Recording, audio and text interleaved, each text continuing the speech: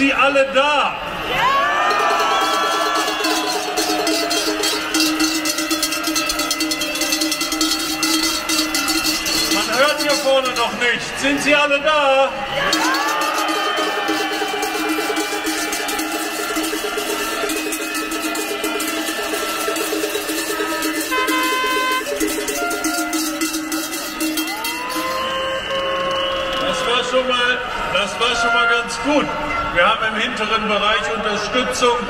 Von unseren Jägern. Kann man die vielleicht schon hören?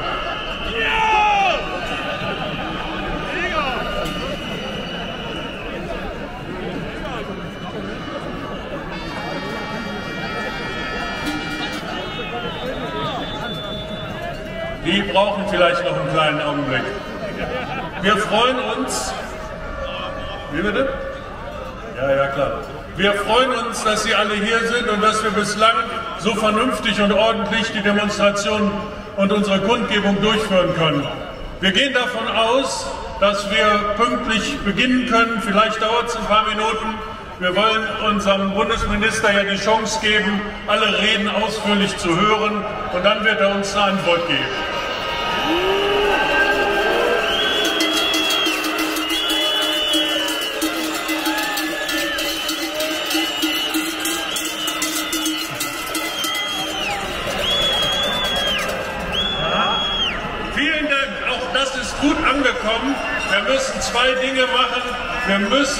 Schon auch ausreden lassen, wenn er dran ist. Aber wir können ihn natürlich entsprechend begrüßen. In dem Sinne frage ich nochmal, sind denn die Spediteure auch alle da?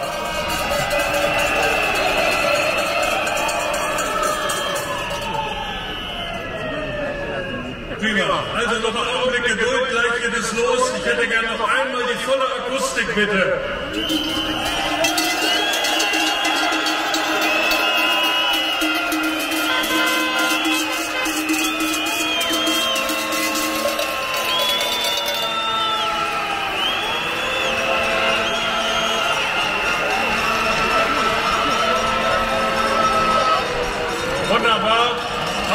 Geduld noch. Es kommen noch zahlreiche weitere Teilnehmer. Wir sehen uns.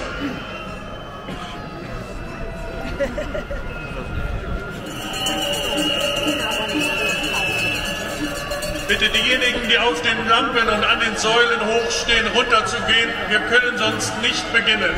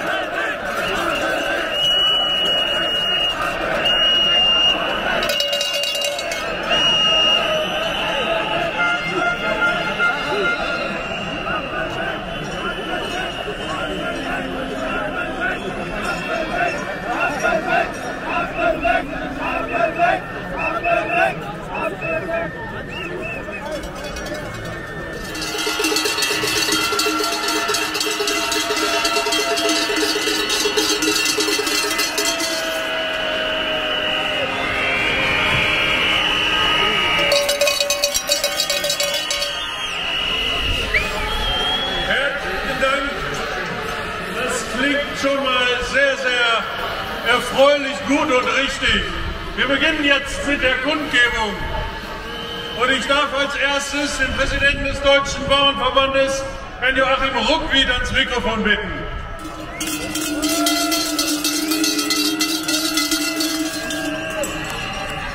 Guten Morgen, seien Sie gegrüßt, Landwirtinnen, Landwirte, Gärtnerinnen, Obstbauern, Fischer, Forstwürste, alle, die mit Land und Forst und Agrarwirtschaft zu tun haben, Spediteure, Lkw-Fahrer, Handwerker, Bäcker, Metzger, der Mittelstand ist hier, die Gastronomie ist hier und viele, viele mehr.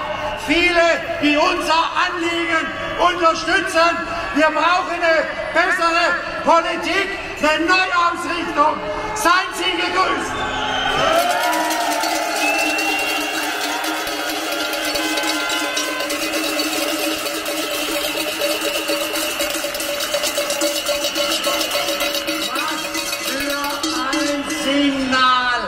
Dass wir hier sitzen Richtung Berliner Politik.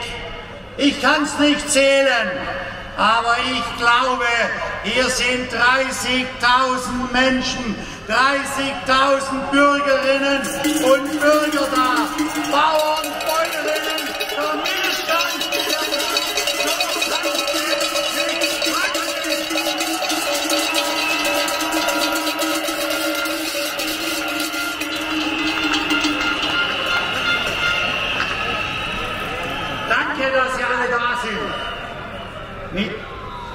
dieser Präsenz setzen wir ein weiteres wichtiges Zeichen Richtung Berliner Politik, auch beim Agrardiesel, auch bei unseren Themen, die müssen weg. Ich habe im Dezember gesagt, es reicht, zu viel ist zu viel. Und das wiederhole ich, es reicht, zu viel ist zu viel. Nehmen Sie die Vorschläge zurück.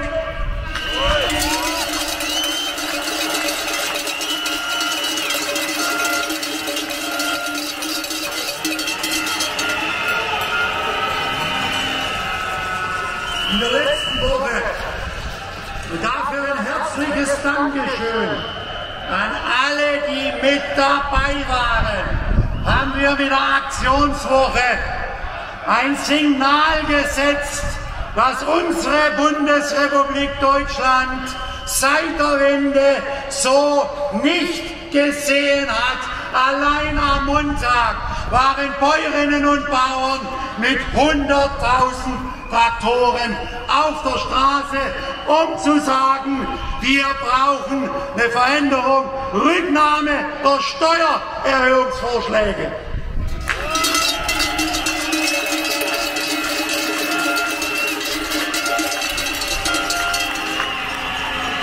Und während der ganzen Woche, es waren hunderte von Veranstaltungen, haben wir in ganz Deutschland gezeigt, dass der Bauernstand nach wie vor lebt, dass der Bauernstand nach wie vor bereit ist für seine Interessen, aber am Ende, und das will ich betonen, auch für die Versorgung mit sicheren heimischen Lebensmitteln eintritt.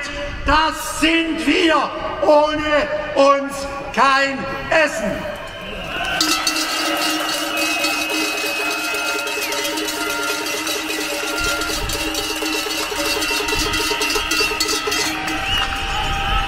Liebe Bäuerinnen und Bauern,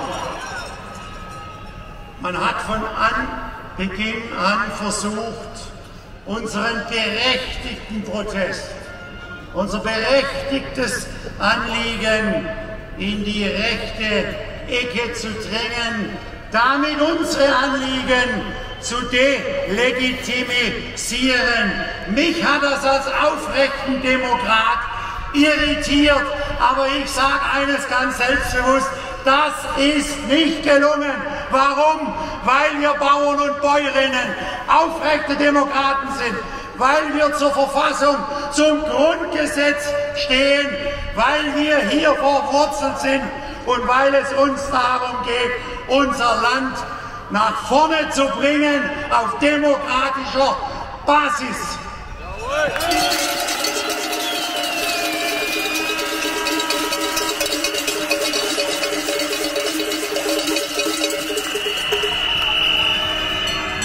Bundeskanzler Olaf Scholz hat in seinem Video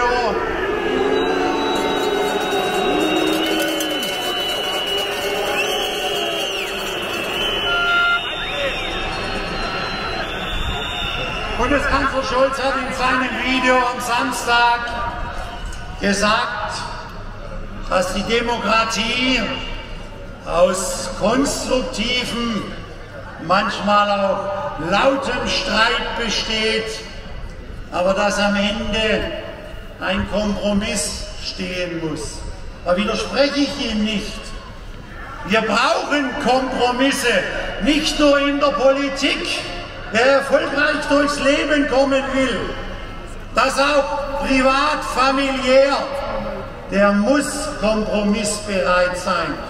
Nur das kann nur dann gelingen, wenn es sich um einen fairen Kompromiss handelt, den, den die Bundesregierung vorgeschlagen hat, uns nämlich weiterhin mit einer halben Milliarde zusätzlich zu belasten. Der ist nicht fair, der ist faul den nehmen wir nicht hin.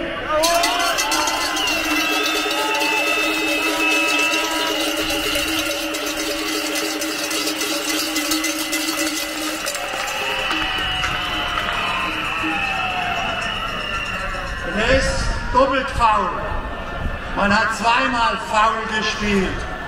Ich habe rund 20 Jahre bei Wind und Wetter Damals gab es noch keine maschinelle Erntetechnik, Rot- und Weißkohl geschnitten.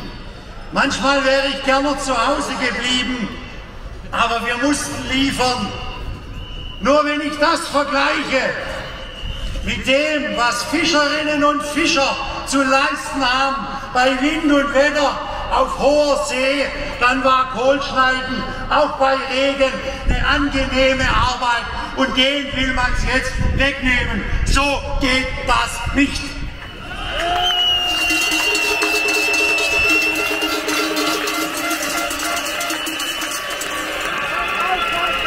Ich sag's ganz einfach, bring's auf den Punkt. Die Regierung hat's in der Hand. Zu viel ist zu viel, es reicht. Wenn die Bundesregierung die äh, Steuererhebungspläne zurücknimmt, dann gehen wir mit den Treckern von der Straße. Solange sie das nicht tut, werden wir weiter unser Grundrecht auf Demonstration in Anspruch nehmen.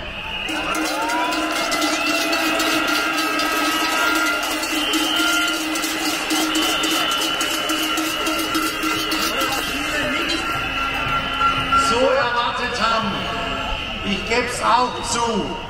Ich war skeptisch, weil wir haben ja mit den Schlimmerfahrten Mitbürgerinnen und Mitbürger behindert. Der eine oder andere kam zu spät zum Arbeitsplatz. Was aber gelungen ist, und das haben wir Polizei, das haben wir Rettungsdienste bestätigt, Rettungsgassen freizuhalten.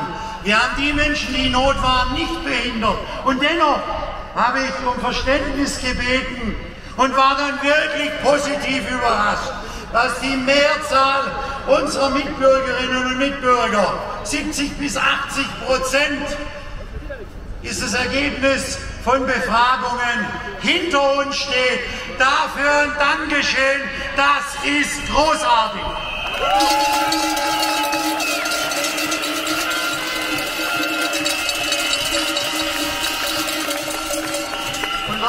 Stehen so viele hinter uns? die stehen doch deshalb auch hinter uns. Für diese Agrardiesel, Steuerbefreiung, nicht das Thema. Sie stehen deshalb hinter uns, weil sie auch der Meinung sind, dass sich in der Politik was ändern muss. Die Politik muss raus aus der Berliner Blase hin zu Bürgerinnen und Bürger, hin zu Bäuerinnen und Bauern.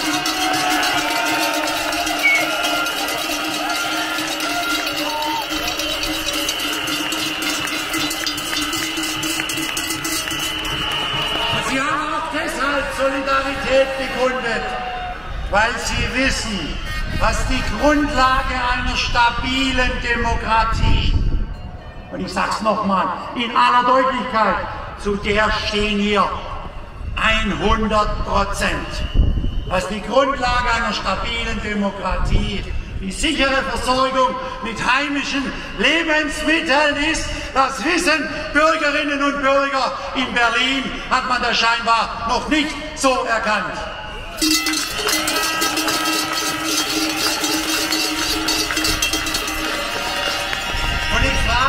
Wirklich, reichen Versorgungsengpässe bei Medikamenten, ob das Fiebersäfte sind, ob das Antibiotika ist, noch nicht aus, damit man wach wird. Soll auch noch eine, sollen auch noch Versorgungsengpässe bei Lebensmitteln riskiert werden? Ich sage nein, es ist höchste Zeit, dagegen anzugehen.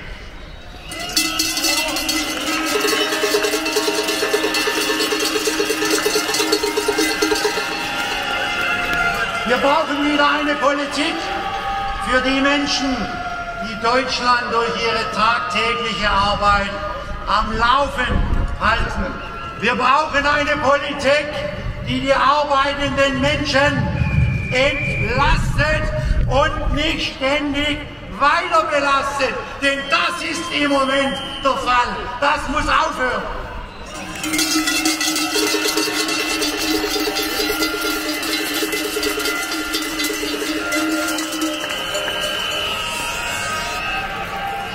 Regierung muss sich auch genauer die Ausgabenliste anschauen. Da gibt es sicherlich viele Projekte, die weniger wichtig sind wie die Stärkung der heimischen Landwirtschaft oder der heimischen Wirtschaft, des Mittelstands, des Handwerks. Da muss wieder im positiven Sinne Hand angelegt werden. Da müssen Perspektiven aufgezeigt werden.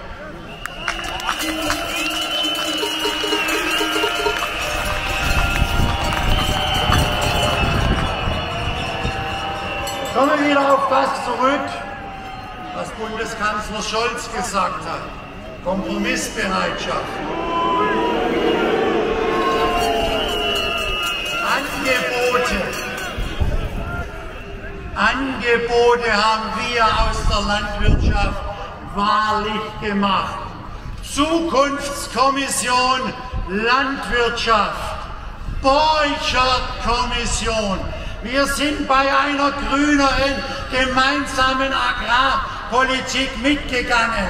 Schmerzhafte Einschnitte haben wir ertragen. Wir sind ruhig geblieben. Und ich frage mich, ist das jetzt der Dank dafür, dass wir nach vorne gegangen sind? Die Regierung hat nichts umgesetzt bei der ZKL, bei Tierwohl. Ist es jetzt der Dank dafür, dass wir die Hand gereicht haben, dass man uns jetzt einseitig mit Steuererhöhungen belasten will. So geht's nicht.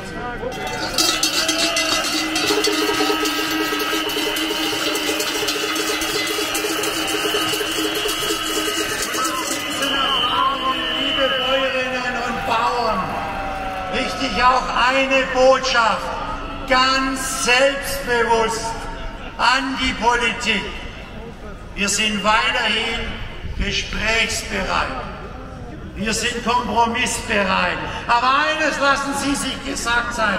Wir werden wesentlich deutlich selbstbewusster auftreten und selbstbewusster einfordern, was für Bauern, Bäuerinnen wichtig ist.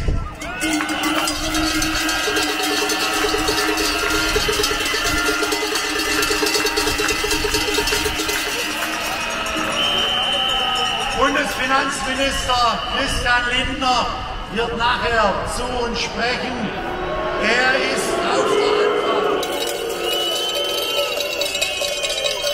Er hat bei einer Rede, bei einem Auftritt signalisiert, dass er sich für Bürokratieabbau einsetzen will. Das ist richtig, das ist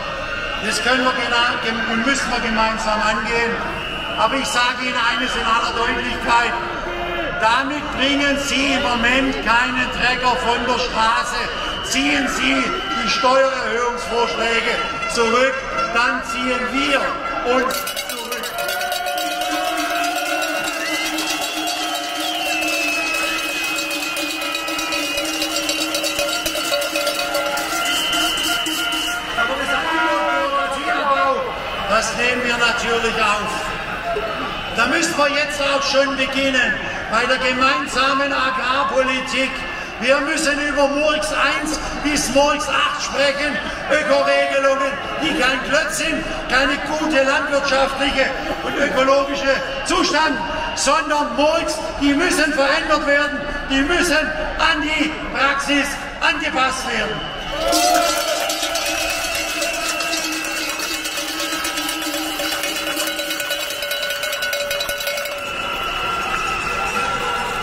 Hier gibt es viele Punkte, die wir dann diskutieren werden. Ich will sie heute nicht aufzählen. Ich komme wieder zurück zu dem eigentlichen Kernanliegen. Streichung der Steuererhöhungspläne um. Und das ist für mich ein ganz entscheidender Punkt, um auch weiterhin eine sichere Versorgung mit Lebensmitteln, heimischen Lebensmitteln, produziert von Landwirten und Landwirten, nachhaltig mit Tierwohl in den Stellen, dass diese Versorgung auch weiterhin sichergestellt ist. Denn das ist die Grundlage für eine stabile Demokratie. Darum geht es und nicht mehr und nicht weniger.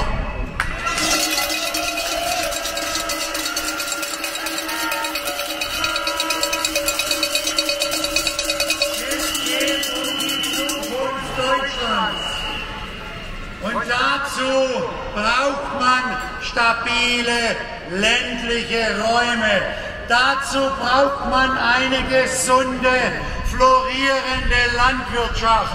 Dazu braucht es eine nächste Generation von jungen Landwirtinnen und Landwirten. Im Übrigen sind die nirgendwo so gut ausgebildet wie bei uns. Die verstehen ihr Handwerk, die muss man nur lassen.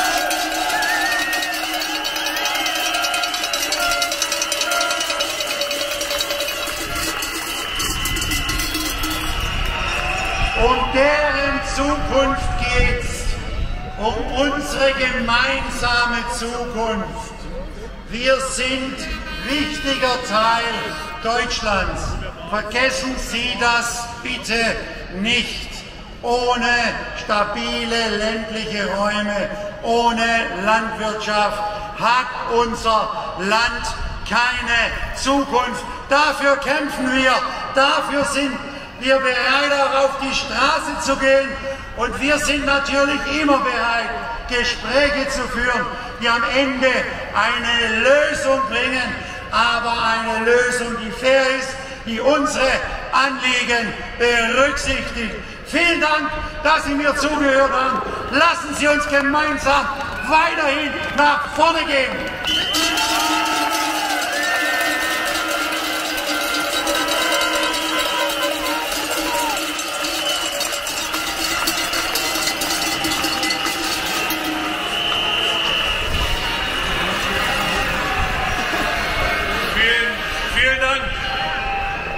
Jetzt den Bundesminister hier haben, möchte ich noch einmal das volle Programm hören. Seid ihr alle da?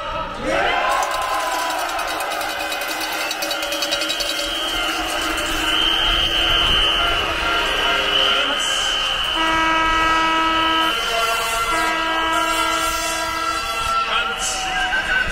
herzlichen Dank, das kommt hier an. Als zweiter Redner kommt Professor Dirk Engelhardt vom Bundesverband Güter, Kraftverkehr, Logistik und Entsorgung. Herzlich willkommen, Engelhardt.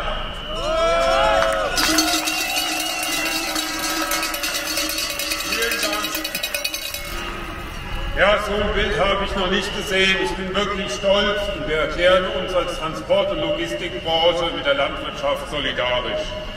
Das, was Präsident Ruckwied angesprochen hat, Wir haben jeden Tag 800.000 LKWs, die für die Versorgung unserer Bevölkerung unterwegs sind.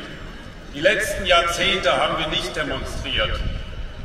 Mitarbeiter, Kollegen, Unternehmer haben mir gesagt, wollen wir wirklich nach Berlin? Ja, wir gehen nach Berlin wir werden auch zukünftig an der Seite der Landwirtschaft, der Forstwirtschaft stehen, weil unserer Branche reicht es auch. Ja.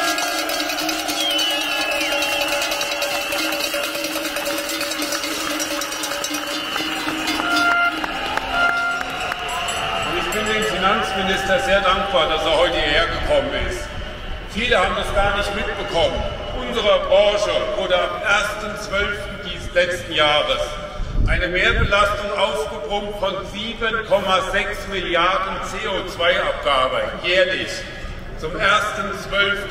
7,6 Milliarden.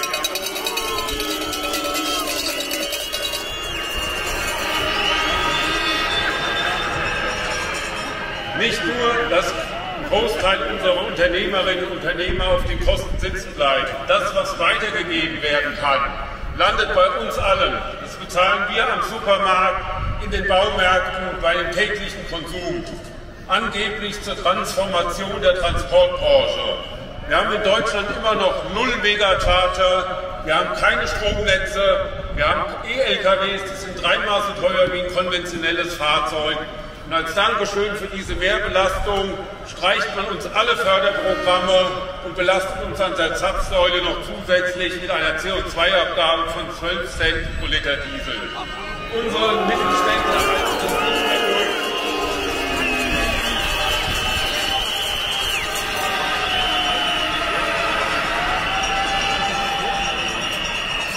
Der polnische Marktteilnehmer oder der aus dem Baltikum, der tankt 30 40 Cent günstiger, kommt nach Deutschland, verrichtet hier seine Dienstleistung, lacht sich über den deutschen Mittelstand kaputt und fährt am Wochenende wieder nach Hause. Und das ist nicht die Politik, die der deutsche Mittelstand verdient hat, die Fahrerinnen und Fahrer, die jeden Tag für die Versorgung unterwegs sind. Das geht in der öffentlichen Diskussion vollkommen unter. Ich kann Ihnen nur eins sagen, so wichtig wie die Landwirtschaft für die Produktion mit Lebensmitteln ist, so wichtig ist die Transportbranche. Über 80 Prozent der Güter werden mit dem Lkw transportiert.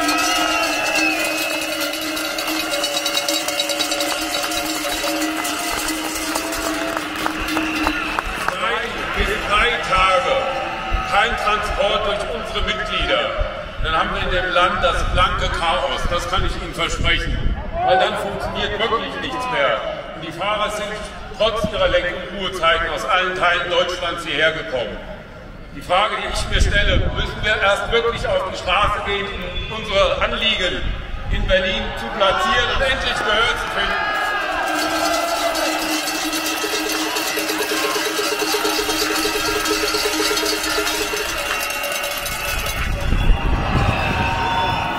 Es gibt einen Koalitionsvertrag, da steht drin, keine Doppelbelastung des deutschen Transportgewerbes durch eine CO2-Maut und eine CO2-Abgabe an der Zapfsäule. Über ein Jahr warten wir, zwei Jahre warten wir auf die Umsetzung dieser Maßnahmen. Ich freue mich sehr, ich hoffe, dass nachher unser Finanzminister dazu eine Aussage tätigen wird. Unsere Mittelständler sterben langsam und leiser, aber wenn sie nicht mehr da sind, dann ist es mit dem Transport in Deutschland düster, weil es ist keiner da, der das kompensieren kann. Im Gegenzug das muss sich wirklich auf der Zunge zergehen lassen, kämpfen wir als Verband, ob unsere Fahrerinnen und Fahrer zukünftig beheizte Toilettenhäuschen auf den Raststätten bekommen. Als Dankeschön für 15 Milliarden Mehrbelastung. Ein Zustand, der ist absolut untragbar. Ich, ich wiederhole die Aussagen von Präsident Ruckwied nicht. Es betrifft unsere Branche eins zu eins. Aber wir haben klare Forderungen. Weg mit der Doppelbelastung, wie es im Koalitionsvertrag steht. Gibt unseren Mitgliedsunternehmen eine Förderung, dass sie Teil der Transformationswende sein können.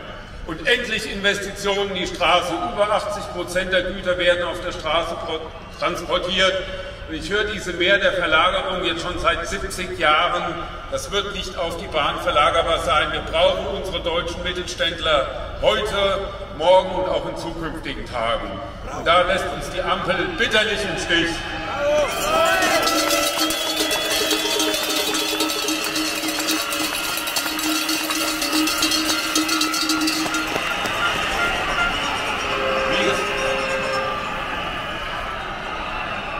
Gesagt, unsere Branche hat die letzten Jahrzehnte nicht demonstriert, aber Sie sehen die ganzen LKWs.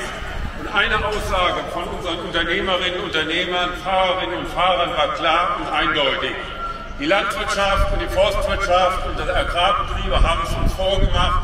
Wir werden auch wiederkommen, wenn wir nicht berücksichtigt werden. Deswegen unser klarer Appell, bitte nicht nur die Landwirtschaft, mit der wir uns sehr solidarisch erklären, ohne Transportsektor kommt kein landwirtschaftliches Gut in die Häfen, keine Düngemittel in die Betriebe. Wir werden zusammen mit den Landwirten genauso auch in der Zukunft für unsere Forderungen einstehen. Vielen Dank.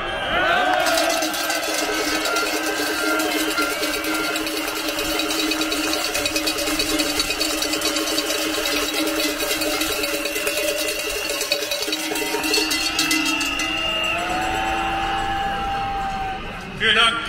Als dritten Redner haben wir von Landschaftsverbindung Herrn Hochrhein. Sie haben das Wort. Hallo zusammen. Ich habe die ganze Zeit meine Kapuze aufgehabt, weil da herum uns der Wind so eisig entgegenbläst, wie er uns von der Politik entgegengeblasen wird.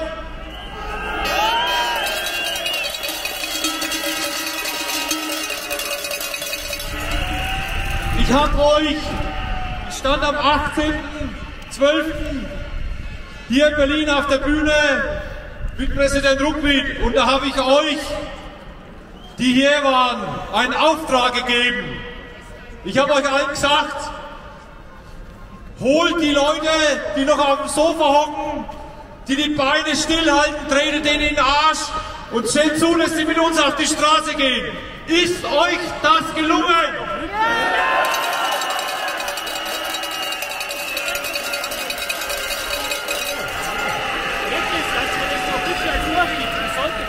Es ist euer Mut, euer Engagement, aber vor allem eure Entschlossenheit, die das so groß gemacht hat.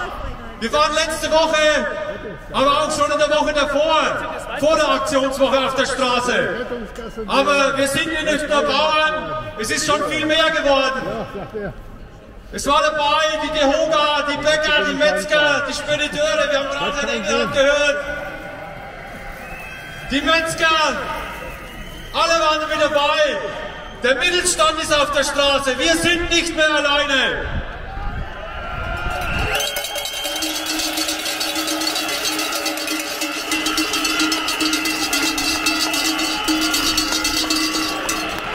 Ich möchte!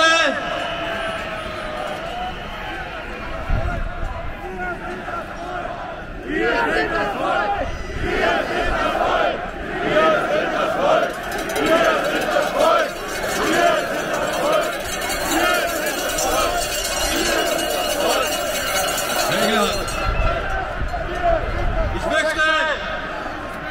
Seid mal kurz leise. Hey!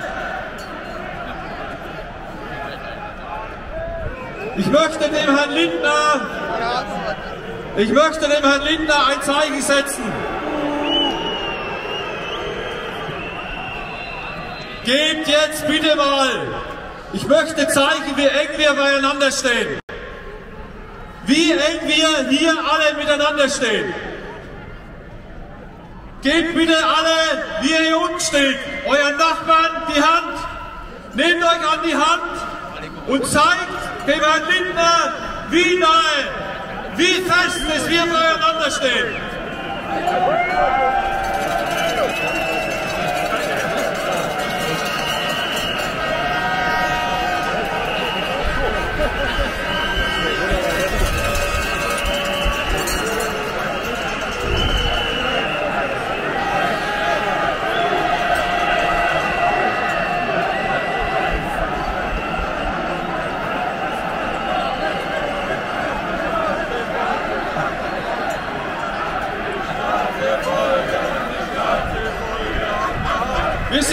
Sind aufgestanden für den Agrardiesel und die Kfz-Besteuerung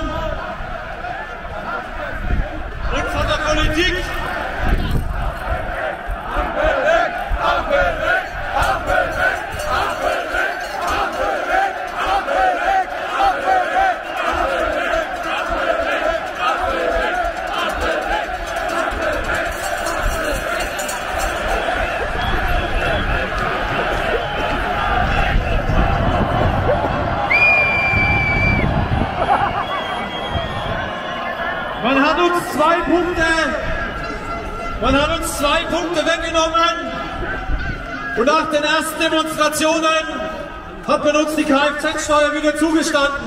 Ich habe hier vor drei Wochen auf der Bühne gesagt, wir gehen keine faulen Kompromisse mehr ein. Und es kann nicht sein, dass uns dann die Politik einen Punkt zurückgibt, vorher zwei wegnimmt und dann wird uns über die Presse gesagt, es würde uns großzügigerweise entgegengekommen. Das ist doch nicht großzügig, das ist so.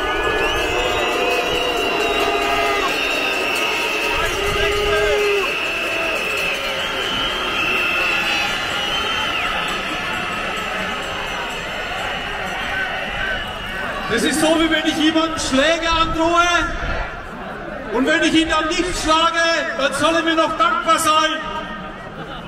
Wir haben in den letzten Jahren in der Landwirtschaft, Herr Ruckwied hat es angesprochen, sehr viele Kröten haben schlucken müssen. Die Stilllegung, die Düngeverordnung, die Kürzung bei der Sozialversicherung. Einige Punkte, die uns extrem eingeschränkt haben.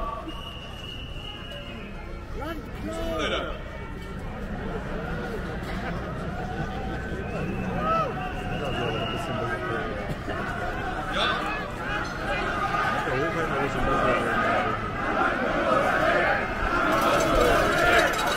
Ich möchte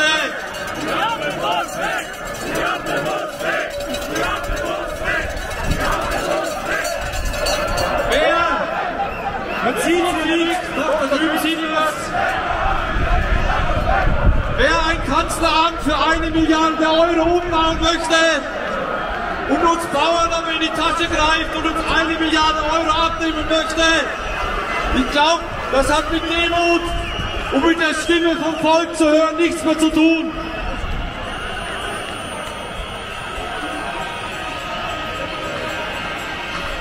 Ich möchte aber noch zwei, drei Punkte zu unserer Verbotspolitik der letzten Jahre sagen und zu der angeblichen Arbeit, die hier in Berlin verrichtet wird. Die Arbeit,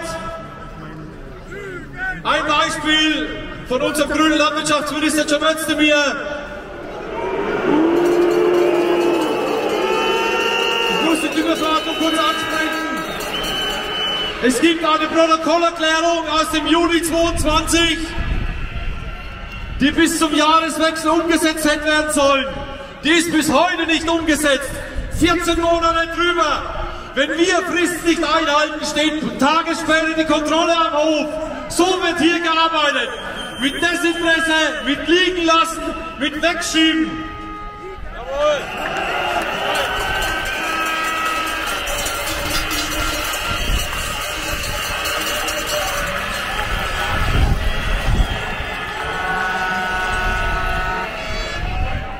In der SPD sind Zeichen der Zersplitterung und des Gespaltenen äh, zu erkennen. Und zwar, wenn der Ministerpräsident Weil in, in Niedersachsen, Rehlinger im Saarland, in Mecklenburg-Vorpommern Ministerpräsidenten von der SPD sich ganz klar an unsere Seite stellen und sagen, die Belastung ist zu viel, das kann die Landwirtschaft nicht noch zusätzlich leisten. Und da muss ich sagen, die sind anscheinend ein Stück näher an ihren Bürgern und die haben es anscheinend verstanden. Jawohl!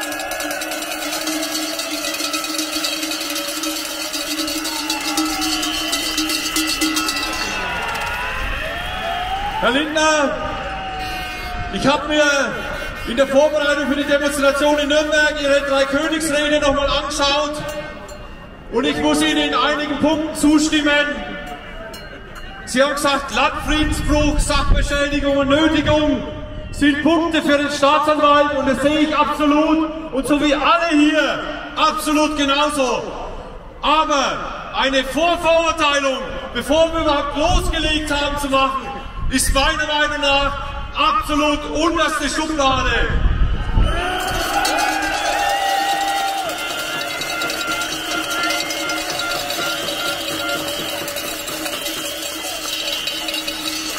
Auf allen Demonstrationen haben sich alle Polizisten die Beine in den Bauch gestanden. Das BKA, so wie es da hinten steht, die haben genauso gefroren wie wir. Aber das in einer Rede an uns Bauern zu richten, fand ich einfach, das geht einfach nicht. Sie sprechen von einer hochsubventionierten Branche. Und ich muss Ihnen sagen, Subventionen, da gibt es keine Gegenleistung dafür. Wir bringen jeden Tag Leistung, jeden Tag. Und es ist nur ein Ausgleich.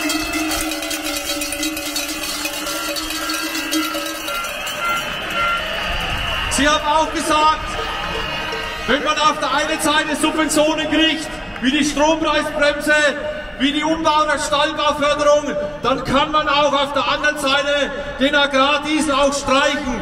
Ich frage mich, bei einem gescheiterten Haushalt, was ist denn dann mit der Strompreisbremse? Was ist denn, wenn 4 Milliarden Euro im Jahr für Stallumbauen versprochen werden und am Ende des Tages ist es nur eine Milliarde in vier Jahren? Ich glaube, da wird was irgendwie durcheinander gebracht und zwar ganz gewaltig.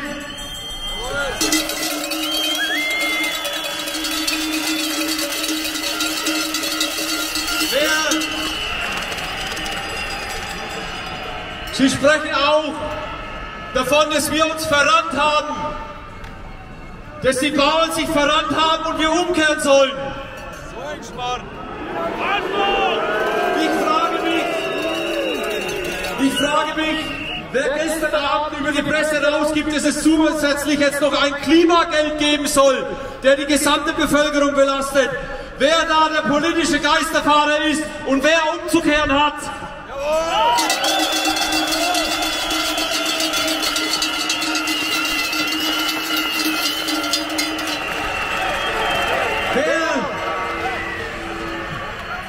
Wer den Spediteur, den Handwerker, den Bäcker, den Metzger, aber vor allem uns Landwirte, wer diesen Berufsstand nicht ehrt, ist des Regierens nicht wert.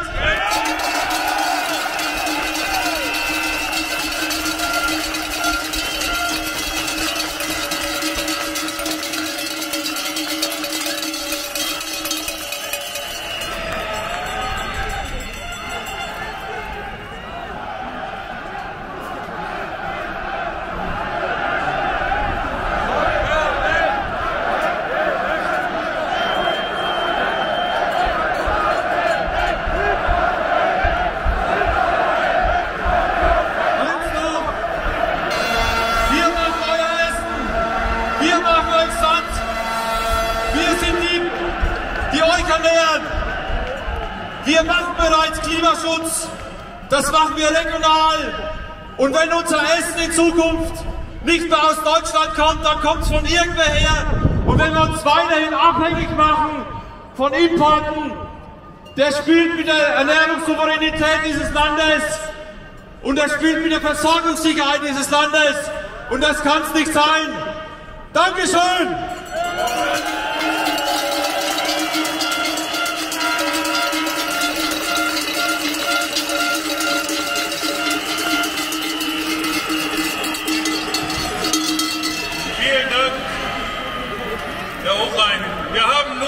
Nächste Rednerin Theresa Schmidt, die Bundesvorsitzende der Landjugend. Zum wiederholten Male herzlich willkommen.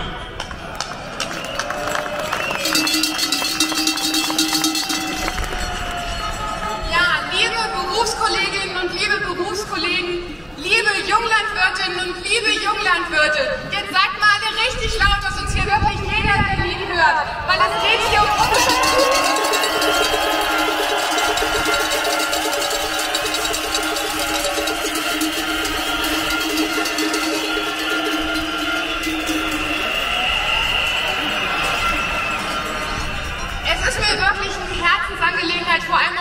Generation zu sprechen und Danke zu sagen für die Solidarität, die wir in den letzten Wochen auf der Straße erlebt haben. Das war Gänsehaut pur und das ist nicht selbstverständlich, dass wir so solidarisch von allen Ecken unterstützt werden und da ist kein Platz für rechts oder radikale Ränder, Gewalt oder persönliche Angriffe und das haben wir deutlich gemacht und wir lassen uns da nicht in irgendwelche Schubladen stecken.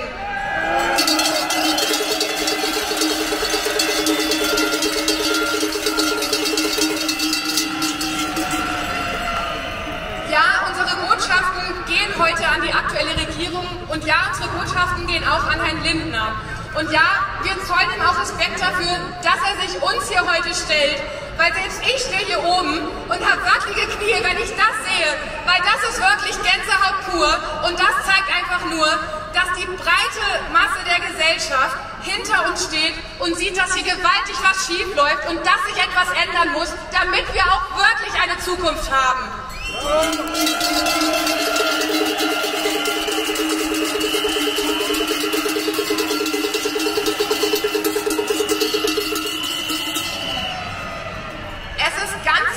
Deutlich zu machen, wir stehen hier heute nicht allein wegen den Kürzungen beim Agrardiesel.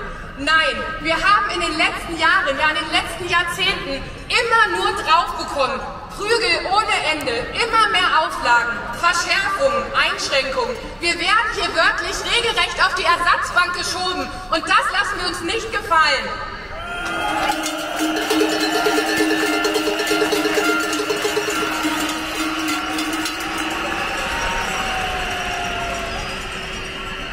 Ich denke hier gerade wirklich an zwei Dinge. Das sind zwei Seiten. Auf der einen Seite stehe ich hier für über 100.000 Landjugendliche, diejenigen, die auch in Zukunft noch verantwortungsbewusst, nachhaltig, klimaschonend mit Tierwohl die Betriebe übernehmen wollen. Die haben das wieder gezeigt bei unserem Berufswettbewerb letztes Jahr. 10.000 junge Menschen, kann wirklich keiner haben, machen sich auf den Weg, sind mutig und wollen was gestalten. Und was passiert auf der anderen Seite? Uns werden Steine in den Weg gelegt. Wir können nicht weiter wirtschaften, so, wenn es so weitergeht, können nicht mehr davon leben. Und das muss hier einfach deutlich gemacht werden.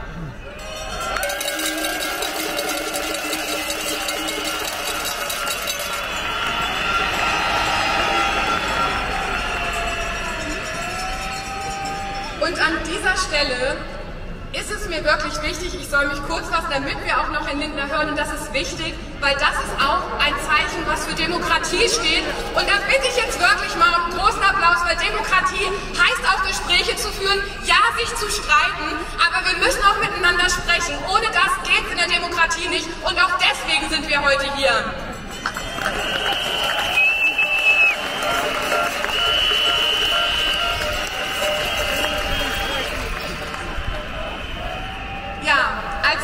Landjugendvorsitzende habe ich vom Nachwuchs eine ganz klare Botschaft für Herrn Lindner.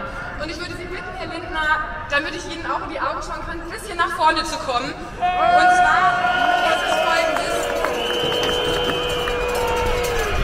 Es ist an der Stelle möchte ich wirklich darum bitten und an euch alle appellieren, dass ihr da auch Respekt für zeigt, weil das ist, ja, Minister, das sind auch die Aufgaben, die dazugehören, aber es stellt sich auch nicht jeder. Uns und äh, wir Landwirte haben da auch ordentlich Power, die wir mitbringen. Also ich hätte auch Angst, wenn ich hier stehen würde und keine Landwirtin wäre. So, ich habe hier jetzt zwei Karten mitgebracht. Und Herr Lindner, Sie sind auch Fußballfan, das habe ich gelesen. Und da ist mir wichtig, deutlich zu machen, die, ja, die gelbe Karte steht hier auch nicht für die FDP. Ganz im Gegenteil, das ist eine Verwarnung. Und das ist die letzte Warnung, die ich hier ausspreche als Landjugendvorsitzende, damit Sie jetzt in der zweiten Hälfte der Halbzeit der und müssen die Kürzungen wirklich ersatzlos zurückgenommen werden und Sie müssen wirklich sich für unsere Zukunft stark machen und mit fairen Bedingungen für uns ja sich stark machen. Letztlich können wir nur noch zur roten Karte kommen, wenn Sie das jetzt nicht umsetzen. Und wir haben wirklich, ich habe gesagt, was uns alles in den letzten Jahren beschäftigt. Und da hören wir das hier ganz laut, den Unmut, der uns auf die Straßen gebracht hat, auch die Wut. Aber was können wir denn vor allem neben auch zu Recht wütend und auch Unmut auf die Straßen bringen? Was können wir denn? Wir können, und das tun wir richtig gut, Lebensmittel erzeugen. Für die Regierung, für die Gesellschaft, für jeden. Wir ernähren Deutschland und das wollen wir auch noch zukünftig tun. Und deswegen ist jetzt hier die gelbe Karte für Sie, Herr Lindner, damit wir das auch zukünftig noch tun können und Sie endlich unsere Verwarnung ernst nehmen.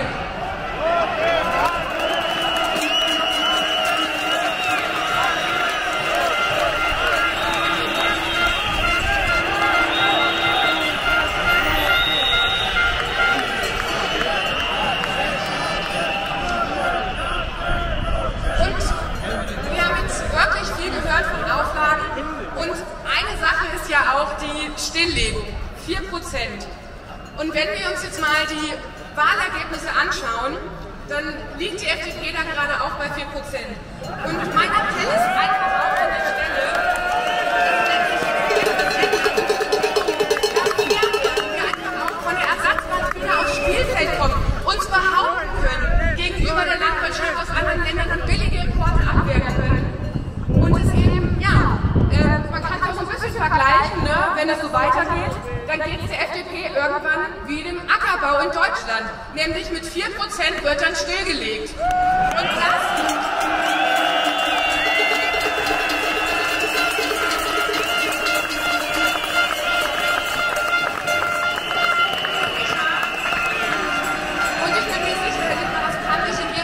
sein. Und ich kann Ihnen nur mitgeben, da spreche ich wirklich aus ganzem Herzen zu Ihnen, der Nachwuchs, der ist da. Und der ist bereit, der will gestalten, der will sich verwirklichen, der will was verändern. Und ja, wir wollen auch Unternehmer sein, aber dann muss man uns auch selbstständig wirtschaften lassen. So kann es wirklich nicht weitergehen. Und dann lasse ich mir auch nicht sagen, gerade auch mit Blick auf die Schuldenbremse, dass es hier auch um Generationengerechtigkeit geht. Ja, das tut es. Aber es kann nicht sein, dass meine Generation, die Generation, die in Zukunft das weitermachen wollen, jetzt totgespart wird und wir keine Zukunft haben. So geht es nicht weiter. Wir kämpfen weiter. Wir wollen, dass die Forderungen zurückgenommen werden. Und dafür sind wir heute hier.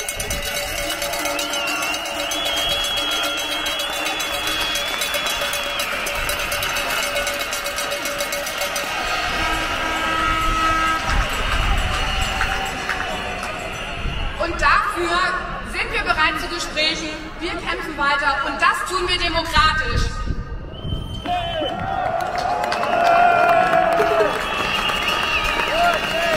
Vielen Dank. Und nach diesen vier Reden bitte ich um einen herzlichen Applaus und ein herzliches Willkommen für den Bundesminister für Finanzen, Herr Christian Lindner.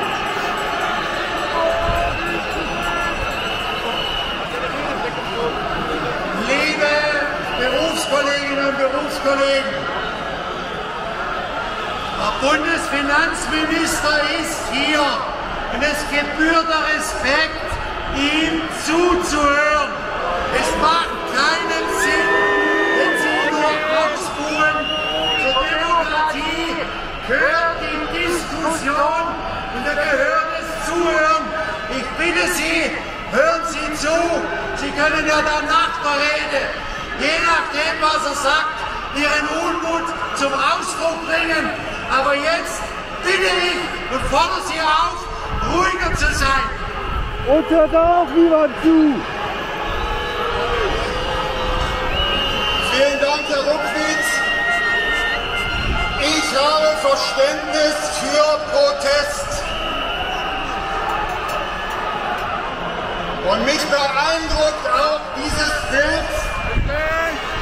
Tausende Landwirtinnen und Landwirte, die hier nach Berlin kommen.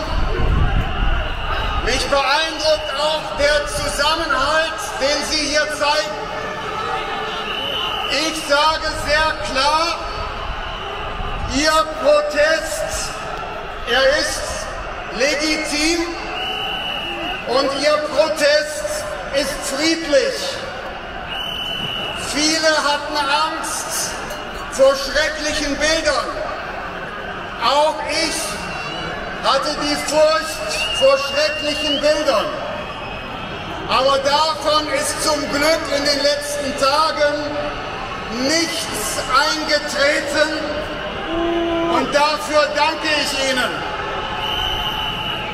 Wir stehen hier heute vor dem Brandenburger Tor, einem Symbol unserer nationalen Einheit in Deutschland. Was ein Unterschied zwischen den Bauern und den Klimaklebern. Die Klimakleber haben das Brandenburger Tor beschmiert. Die Bauern haben das Brandenburger Tor geehrt und das ist ein Unterschied. Und deshalb erwarte ich von der Politik und von den Medien, von allen, die Befürchtungen geäußert haben, dass sie künftig stattdessen vor der linksextremistischen Unterwanderung der Klimakleber warnen und deren Sachbeschädigungen und Beklagen verurteilen, denn das ist gerechtfertigt. Sie haben mich eingeladen, manche von Ihnen auch, weil Sie hören wollen, was ich zu sagen habe. Ich habe die Einladung von Herrn Ruckwied gerne angenommen. Als Mitglied der Bundesregierung und auch persönlich. Vor vier Jahren habe ich hier schon mal gestanden bei einer Demonstration. Damals ging es um die Düngeverordnung von Julia Knöckner. Damals habe ich Ihnen gesagt, dass unwissenschaftliche Ideologie überwunden werden muss. Damals habe ich Ihnen gesagt, dass ich für eine Agrarpolitik streite, die nachhaltiges Unternehmertum stärkt. Damals habe ich Ihnen gesagt, dass wir die Kluft zwischen Stadt und Land überwinden müssen. Die Menschen müssten wieder wissen, was es für eine Arbeit macht, was es für ein Aufwand ist und welche hohe Kosten es verursacht, Lebensmittel in Deutschland zu produzieren. Vier Jahre später stehe ich wieder hier, diesmal als Finanzminister. Aber an meinen Überzeugungen hat sich nichts verändert. Die Landwirtschaft ist keine Branche wie jede andere. Sie fordert harte Arbeit. Sie sichert unsere Versorgung. Sie schützt unsere Umwelt. Sie verdient daher den Respekt der ganzen Gesellschaft. Und deshalb brauchen wir eine Agrarpolitik, die die wirtschaftliche Existenz der Betriebe sichert. Ich will, dass die Politik den Landwirtinnen und Landwirten vertraut, statt in die Betriebe hinein zu regieren. Viele von Ihnen glauben, viele von Ihnen glauben, hier in Berlin würden nur irgendwelche Städter Politik gegen das Land machen. Ich komme aus dem Bergischen Land. Ich bin neben Wiesen, Feldern und dem Wald aufgewachsen. Als Chef des Bundesforstes kenne ich die Forstwirtschaft. Ich bin Jäger. Ich bin schon fertig, wenn ich den Pferdestall einmal ausgemistet habe. Deshalb weiß ich, was das für eine Arbeit ist, es den ganzen Tag und jeden Tag zu machen. Und ich bin Vorsitzender einer Partei, die sich seit Jahrzehnten für den Mittelstand einsetzt.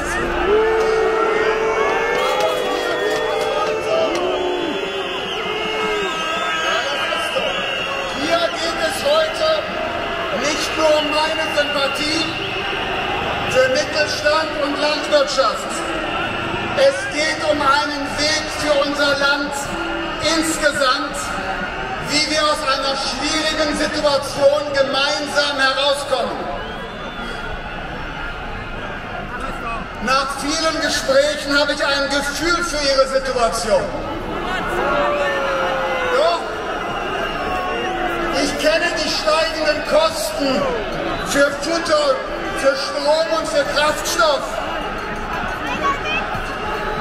Ich kenne die immer weiter steigenden und teuren Umwelt- und Klimaauflagen, die Sie erfüllen müssen. Und ich weiß, dass immer mehr Ämter hineinsprechen und mitentscheiden wollen. Ich kenne die Probleme überhaupt, Mitarbeiterinnen und Mitarbeiter zu finden, die noch bereit sind, hart mitzuarbeiten. Und ich teile Ihre Empörung über Bevormundung. Es muss enden, dass Juristen und Politologen Ihnen erklären, wie Sie die Böden bewirtschaften, von denen Ihre Familien seit Generationen leben. Deshalb, Sie können mir doch nicht erzählen, dass Sie wegen des Agrardiesel hier sind. Es hat sich über Jahre und Jahrzehnte etwas aufgestaut und deshalb lassen Sie uns darüber sprechen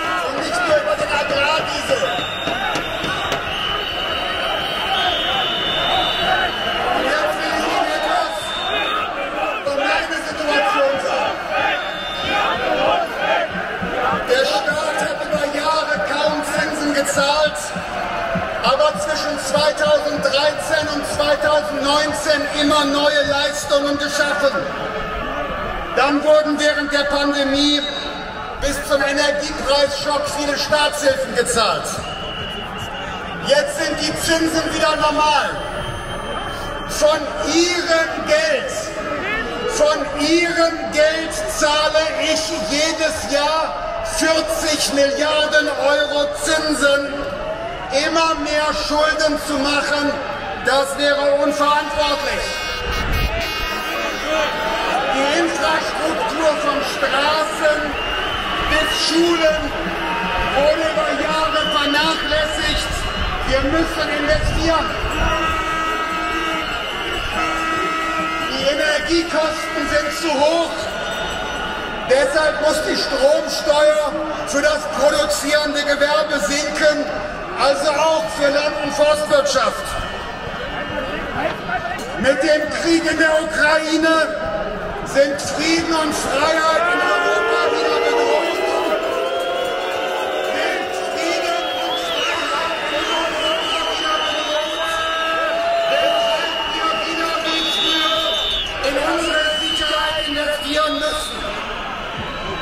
Wir sind in einer Phase, so schwierig und hart und kontrovers sie ist. Wir sind in einer Phase, in der wir neu über die Aufgaben dieses Staates miteinander sprechen müssen. Viele in der Politik wollen jetzt den leichten Weg gehen. Also Steuern erhöhen. Von links bis rechts. Lassen Sie sich davon nicht blenden. Eine höhere Einkommensteuer, die zahlen am Ende Sie. Die zahlt der Mittelstand in Deutschland. Ich bin der Verwalter des Gelds der Steuerzahlerinnen und Steuerzahler. Das ist Ihr Geld. Und deshalb bin ich überzeugt, die Politik muss wieder lernen, mit dem Geld auszukommen, das die Bürgerinnen und Bürger ihr zur Verfügung stellen. Das ist doch dein Kollege, Mann! Dabei muss es fair zugehen. Es darf keine Sonderopfer geben, da stimmen wir überein.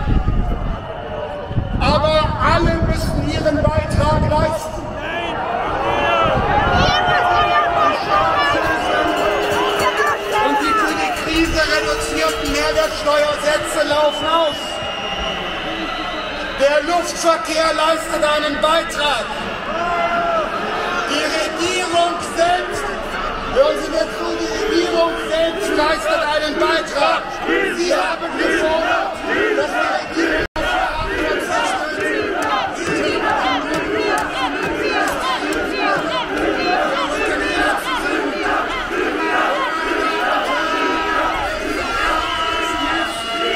dass ich vor Ihnen als dem fleißigen Mittelstand über Kürzungen sprechen muss, während auf der anderen Seite in unserem Land Menschen Geld bekommen fürs Nichtstun. Sozialreformen sind schwer, aber auch da gehen und müssen wir ran.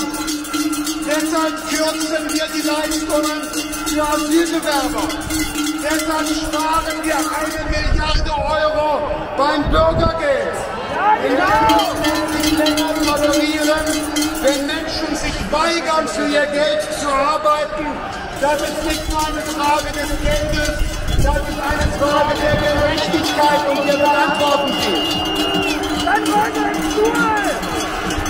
Die Landwirtschaft ist keine Branche wie jede andere, das weiß ich nur zu gut. Es gibt deshalb gute Gründe auch für staatliche Förderung. Aber es gibt auch staatliche Förderung. Aus Brüssel und Berlin wird die Landwirtschaft in jedem Jahr mit 9 Milliarden Euro finanziert.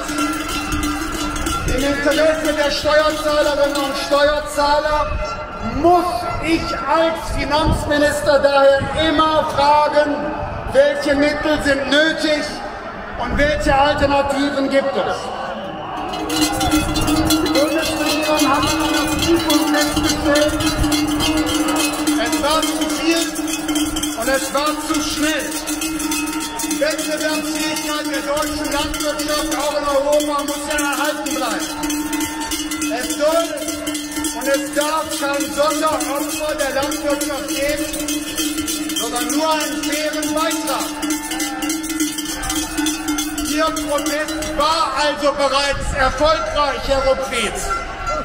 Bundesregierung hat Ihre Argumente gehört. Bei der Kraftfahrzeugsteuer ändert sich nichts. Das grüne Kennzeichen, es bleibt. Der Agrardiesel, er entfällt nicht sofort. Die Rückerstattung wird in den nächsten Jahren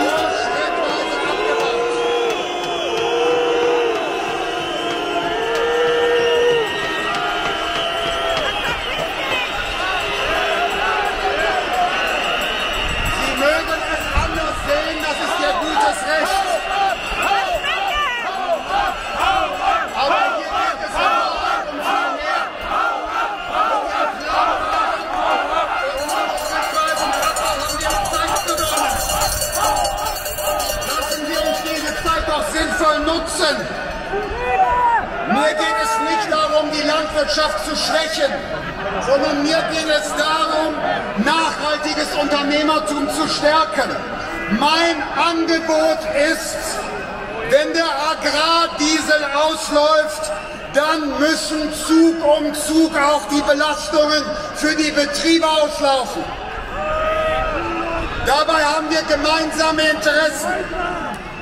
Bürokratieabbau entlastet sie, kostet den Finanzminister aber nichts.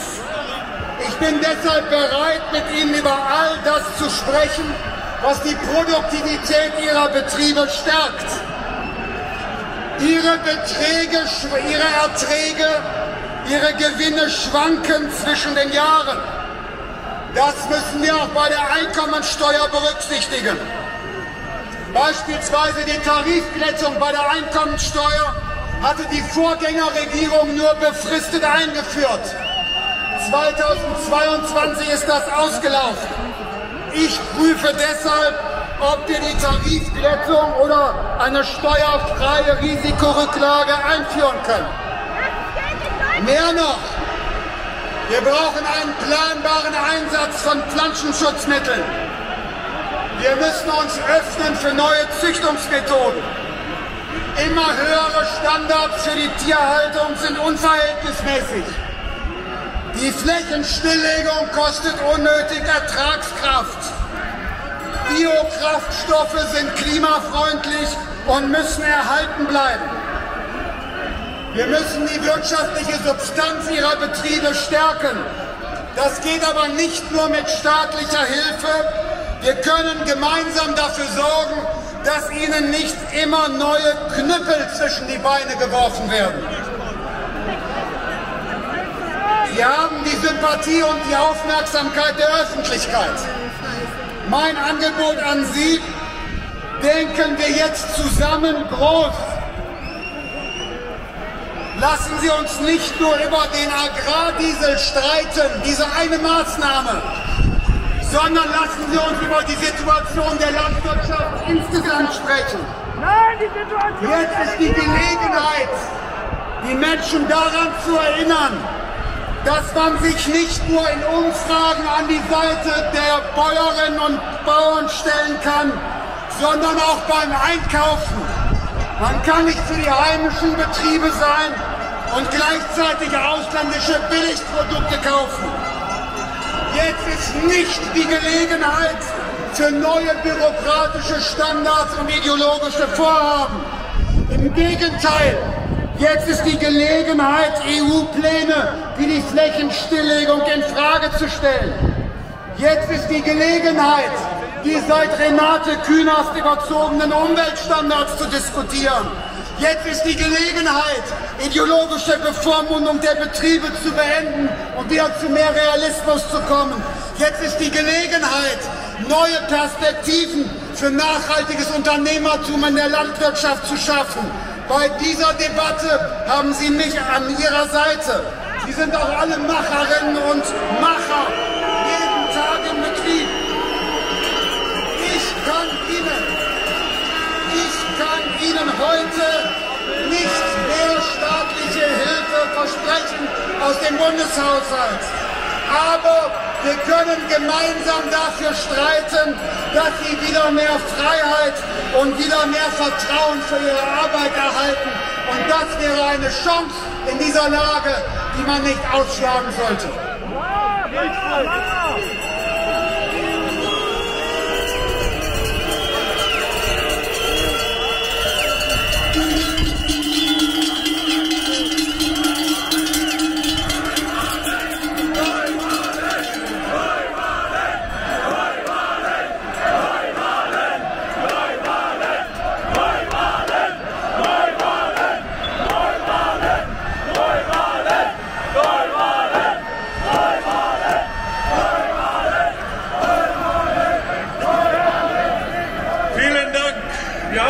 Jetzt noch ein paar kurze Unterstützungsnoten von vielen Organisationen, die uns äh, nahestehen.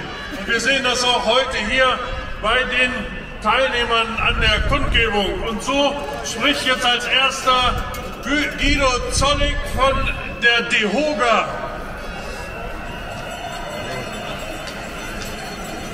Liebe Landwirte, liebe Spediteure, liebe Gastwirte, wir verstehen euren Ärger.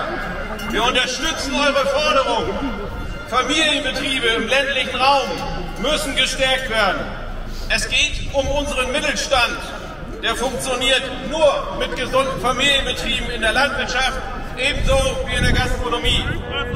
Wir stehen hier im Schulterschluss mit euch. Landwirte, Gastwirte, das ist die Herzkammer des ländlichen Raumes. Attraktive, lebenswerte ländliche Räume gibt es nur mit uns. Regionale Wirtschaftskreisläufe gibt es ebenfalls nur mit uns gemeinsam. Sterben die landwirtschaftlichen Betriebe, die Hofläden, die Wirtshäuser, die Restaurants, dann verschwindet ein gutes Stück Heimat dann verschwindet Lebensqualität. Bauern und Gastronomen stehen für Gemeinschaft und Zusammenhalt im ländlichen Raum. Wir sind standorttreu, wir haben unsere Betriebe hier im Land und wir wollen auch nicht weg.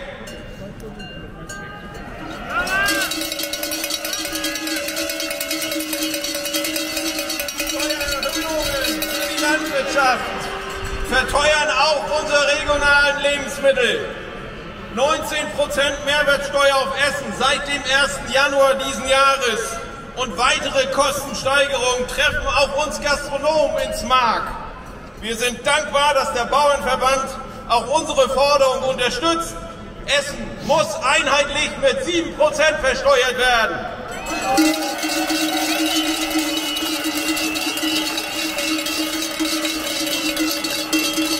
Es versteht doch kein Mensch, dass Essen auf dem Porzellanteller mit 19% Mehrwertsteuer versteuert wird und das verpackte Essen to go, der Fertigsalat aus dem Supermarkt oder die Essenlieferung weiterhin bei 7% bleiben. Das ist nicht fair, das ist nicht gerecht und das ist auch nicht nachhaltig.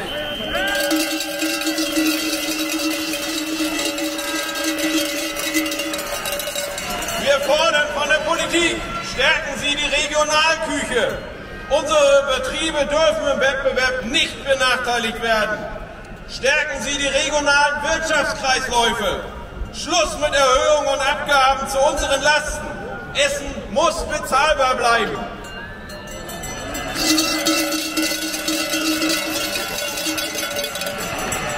Die Steuererhöhungen treffen Millionen von Menschen in unserem Land, insbesondere natürlich die geringen und Normalverdiener. Und das kann der Bundesregierung nicht gleichgültig sein, auch Ihnen nicht, Herr Lindner. In 21 EU-Staaten gilt derzeitig gesetzlich der reduzierte Mehrwertsteuersatz aufs Essen. So sieht Respekt in anderen Ländern aus, so sieht Wertschätzung für unsere Betriebe in der Wirtschaft und in der Gesellschaft aus.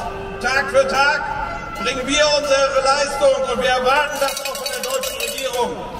Setzen Sie die richtigen haushaltspolitischen Prioritäten. Betriebe, die nicht existieren, können auch keine Steuern zahlen. Meine Damen und Herren, lassen Sie uns gemeinsam die Zukunft unserer Familienbetriebe streiten.